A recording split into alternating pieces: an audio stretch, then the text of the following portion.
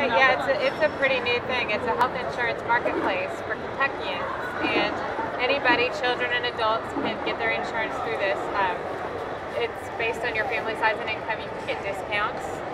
Just part of the uh, The Affordable Care Act, yeah. insurance for the Yeah. company at that. That's right.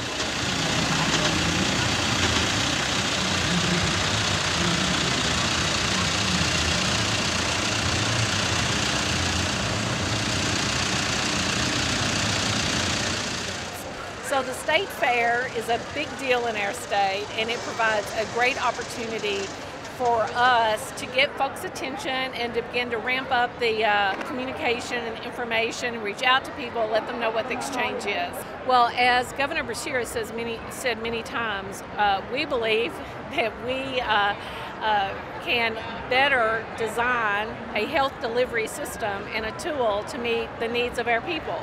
We're very fortunate that the governor is just like full speed ahead. I'm excited about this, and I think a lot of Kentuckians are because for the first time in history, every single Kentuckian will have access to affordable health insurance. We've got some of the worst health statistics in the country. You know, we unfortunately rank up toward the top in about every chronic disease and condition that you can name, whether that's diabetes or heart disease or cancer or what have you. And we've always been there. And it's time to do something different. And this Affordable Care Act gives us that opportunity.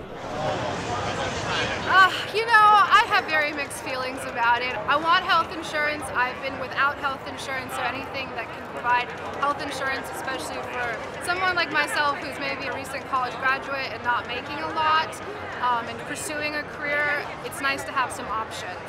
Yes, I do plan on enrolling October 1st. I've never heard of it before today. Oh, I've heard of Obamacare. yes. I mean, I, I have heard of Obamacare, but I didn't know what all was involved. Everybody that I have ever talked to is totally against it. They're afraid that the doctors are all going to pull out and you're going to have to be like Canada and have to be on a waiting list. He told me about some affordable insurance that I think might really be good because I'm scared to take the insurance at work. It's still really expensive. I can't really afford it.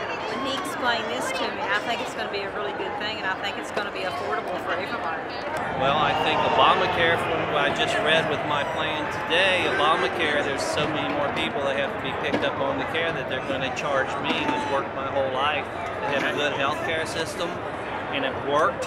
Now all these people that have done nothing are going to get it for free. It's just like extending the children's services until they're 26 years old. You're just promoting bums to stay home longer because they get all that for free.